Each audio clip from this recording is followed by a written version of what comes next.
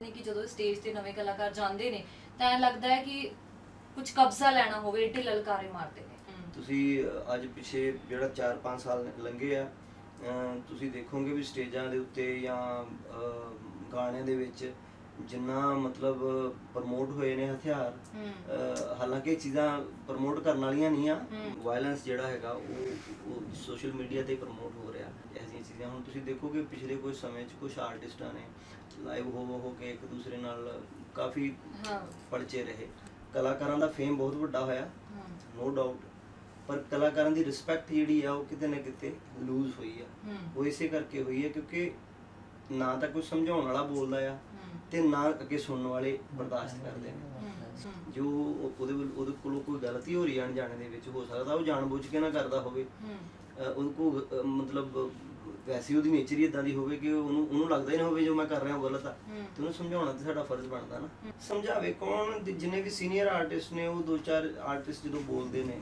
ਤਾਂ ਉਹਨਾਂ ਦਾ ਡੈਫੀਨਿਟਲੀ ਅਸਰ ਹੁੰਦਾ।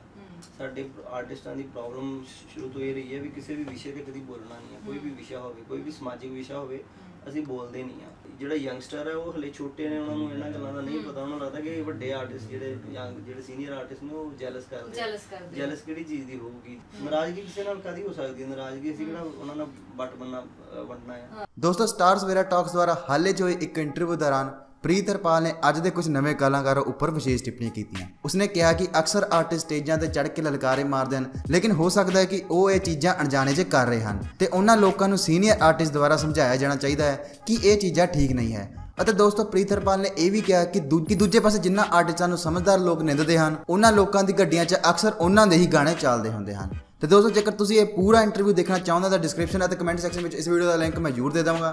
ਤੇ ਜੇਕਰ ਤੁਹਾਨੂੰ ਵੀਡੀਓ ਵਧੀਆ ਲੱਗੇ ਤਾਂ ਵੀਡੀਓ ਨੂੰ ਲਾਈਕ ਤੇ ਇਦਾਂ ਦੀ ਹੋਰ ਨਾ ਵੀਡੀਓ ਦੇਖਣ ਸਾਡੇ ਚੈਨਲ ਨੂੰ ਸਬਸਕ੍ਰਾਈਬ ਜ਼ਰੂਰ ਕਰ ਲਿਓ। ਧੰਨਵਾਦ। ਉੱਥੇ ਜਦੋਂ ਤੇ ਕਿਤੇ ਸਿਆਣੇ ਬੰਦਿਆਂ 'ਚ ਬਹਿੰਦੇ ਸੀ, ਸੂਝਵਾਨ ਲੋਕਾਂ 'ਚ ਬਹਿੰਦੇ ਸੀ, ਉਦੋਂ ਐ ਸਵਾਲ ਹੁੰਦੇ ਸੀ ਕਿ ਅੱਜ ਕੱਲ ਦੇ ਗਾਣੇ ਆ ਰਹੇ ਆ ਇਦਾਂ ਦੇ ਆ ਰਹੇ ਉਦਾਂ ਦੇ ਆ ਰਹੇ ਆ, ਪਰ ਜਦੋਂ ਨਿਕਲ ਕੇ ਅਸੀਂ ਕਿਸੇ ਦੀ ਗੱਡੀ 'ਚ ਬਹਿੰਦੇ ਸੀਗੇ। ਹਰੇਕ ਦੀ ਗੱਡੀ 'ਚ ਉਹੀ ਗਾਣੇ ਚੱਲਦੇ ਸੀ ਜਿਨ੍ਹਾਂ ਕਲਾਕਾਰਾਂ ਦੇ ਉੱਤੇ ਇਲਜ਼ਾਮ ਲੱਗਦੇ ਆ ਜਿਨ੍ਹਾਂ ਕਲਾਕਾਰਾਂ ਨੂੰ ਲੋਕੀ ਇੱਕ ਜਿਹੜਾ ਥੋੜਾ ਸਿਆਣਾ ਵਰਗ ਹੈ ਜਿਹੜਾ ਉਹ ਪਸੰਦ ਨਹੀਂ ਕਰਦਾ ਜਾਂ ਫਿਰ ਉਹਨਾਂ ਨੂੰ ਕ੍ਰਿਟਿਸਾਈਜ਼ ਕਰਦਾ। ਹੁਣ ਤੁਸੀਂ ਦੇਖੋ ਕਿ ਪਰਸਨਲ ਲਾਈਫ ਵੀ ਸ਼ੇਅਰ ਹੋਣੀ ਸ਼ੁਰੂ ਹੋ ਗਈ।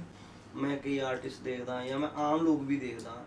ਤੇ ਉਹਨਾਂ ਨੂੰ ਜੇ ਆਪਣੀ ਮੰਮੀ ਦੀ ਯਾਦ ਆ ਰਹੀ ਹੈ ਤਾਂ ਵੀ ਉਹ ਇੱਕ ਕੈਮਰਾ ਇੱਥੇ ਫੜਿਆ ਹੁੰਦਾ ਤੇ ਉਹ ਰੋ ਰੋ ਕੇ ਤੇ ਪਿੱਛੇ ਗਾਣਾ ਲਾਇਆ ਹੁੰਦਾ ਤੇ ਰੋ ਰੋ ਕੇ ਸੋਸ਼ਲ ਮੀਡੀਆ ਤੇ ਉਹਦੀ ਸੈਂਸ ਨਹੀਂ ਬਣਦੀ ਰੋਇਆ ਤੇ ਰੋਇਆ ਤੇ ਲੁਕ ਲੁਕ ਕੇ ਜਾਂਦਾ ਹੁੰਦਾ ਹਮੇਸ਼ਾ। ਓ ਤੇ ਗਾਉਂ ਤੇ ਨੱਚ ਨੱਚ ਪਿੱਛੇ ਲੱਤ ਸਰਪੰਚੀ ਲਾਈ ਆ। ਓ ਤੇਰੇ ਕਰਕੇ ਗਾਣੇ ਸਾਡੇ ਨਹੀਂ ਚੱਲਦੇ ਆ। ਲੰਡੂ ਲਾਉਂਦੇ ਮੇਰੇ ਤੇ ਬਲੇ ਮੱਜ ਕੱਲ